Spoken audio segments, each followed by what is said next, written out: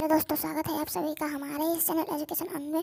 दोस्तों, आज हम लेकर आ चुके हैं आपके लिए जीके के कुछ इंपॉर्टेंट क्वेश्चंस दोस्तों स्टार्ट करते हैं। आज का पहला क्वेश्चन है, अनुशीलन समिति किससे संबंध है?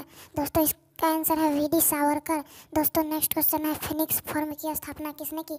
दोस्तों, इसका आंसर है महात्मा गांधी, अंग्रेज़ों एवं फ्रांसीसियों के बीच निर्णायक वांडीवास का युद्ध कब हुआ था? सत्रह सौ साठ ईस्वी दोस्तों नेक्स्ट क्वेश्चन है। वैदिक गणित का महत्वपूर्ण अंग कौन सा है? दोस्तों, इसका आंसर है शूल्य सूत्र। दोस्तों नेक्स्ट क्वेश्चन है। हितो, हितोपदेश के लेखक कौन है? दोस्तों, इसका आंसर है विष्णु शर्मा। दोस्तों नेक्स्ट क्वेश्चन है। महावीर ने किस भाषा का उपदेश दिया? दोस्तों, इसका आंसर है प्राकृत। दोस्तों नेक्स्ट क्वेश्चन है। नालंदा विश्वविद्यालय किस लिए विश्व प्रसिद्ध था? दोस्तों, इसका आंसर है बौद्ध धर्म दर्शन। दोस्तों नेक्स्ट क्वेश्चन है। दोस्तों नेक्स्ट क्वेश्चन है।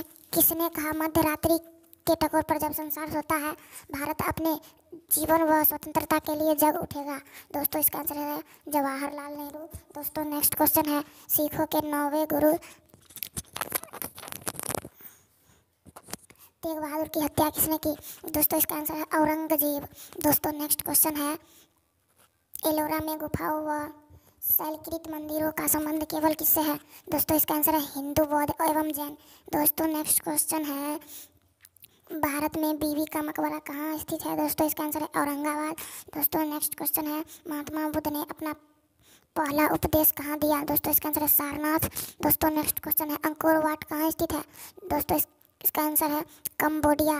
दोस्तों नेक्स्ट क्वेश्चन सुभाष चंद्र बोस ने कांग्रेस के किस अधिवेशन के बाद इसके अध्यक्ष पद से से त्याग पत्र दे दिया था। दोस्तों, इसका आंसर है त्रिपुरी। दोस्तों नेक्स्ट क्वेश्चन है गांधी जी किस गोलमेज सम्मेलन में भाग लेने के लिए लंदन गए थे? दोस्तों, इसका आंसर है द्वितीय गोलमेज सम्मेलन। दोस्तों नेक्स्ट क्वेश्चन है all India trade union Congress की स्थापना कब हुई? दोस्तों, इसका आंसर है उन्नीस बीस ईस्वी। दोस्तों नेक्स्ट क्वेश्चन है सर्वप्रथम शून्यवाद, शून्यता का सिद्धांत का प्रतिपादन करने वाले बौद्ध दार्शनिक का क्या नाम? नाम क्या है? दोस्तों, इसका नाम नागार्जुन।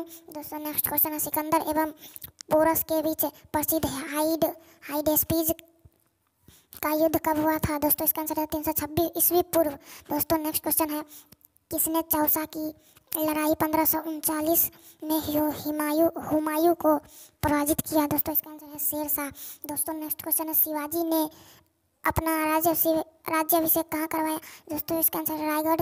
दोस्तों नेक्स्ट क्वेश्चन है, हल्दी घाटी का युद्ध कब लड़ा गया? दोस्तों इसका आंसर सोलह सौ पाँच ईस्वी दोस्तों नेक्स्ट क्वेश्चन है, दिल्ली का लाल किला किसने बनवाया?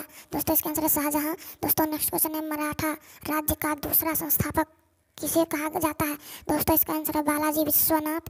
दोस्तों नेक्स्ट क्वेश्चन है। अकबर एवं महाराणा प्रताप के बीच प्रसिद्ध हल्दी घाटी का युद्ध कब लड़ा गया था? दोस्तों, इसका आंसर है पंद्रह सौ छिहत्तर ईस्वी में। दोस्तों नेक्स्ट क्वेश्चन है, गीत गोविंद के रचयिता कौन है? दोस्तों, इसका आंसर है जयदेव। दोस्तों नेक्स्ट क्वेश्चन है, बौद्ध धर्म का संपूर्ण सार किसमें नहीं थे? दोस्तों, इसका आंसर है चार आर्य सत दोस्तों नेक्स्ट क्वेश्चन है, किस पुस्तक में किस पुस्तक का पंद्रह भारतीय और चालीस विदेशी भाषाओं में अनुवाद किया जा चुका है। दोस्तों, इसका आंसर पंचतंत्र। दोस्तों नेक्स्ट क्वेश्चन है ब्रह्म समाज की स्थापना किसने की? दोस्तों, इसका आंसर है राजा राम मोहन राय। दोस्तों नेक्स्ट क्वेश्चन है, पानीपत की लड़ाई। सत्रह सौ इकसठ ईस्वी किन के बीच हुई थी? दोस्तों, इसका आंसर है पेशवा बाजीराव और अहमद शाह अब्दाली।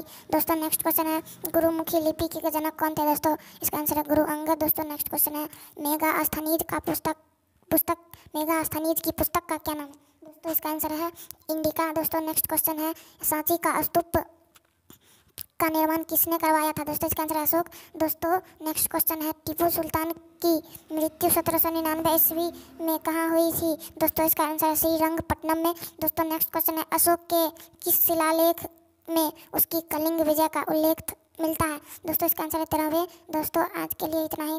दोस्तों, वीडियो अच्छी लगे तो लाइक शेयर और सब्सक्राइब ज़रूर करना। और थैंक्स फॉर वॉचिंग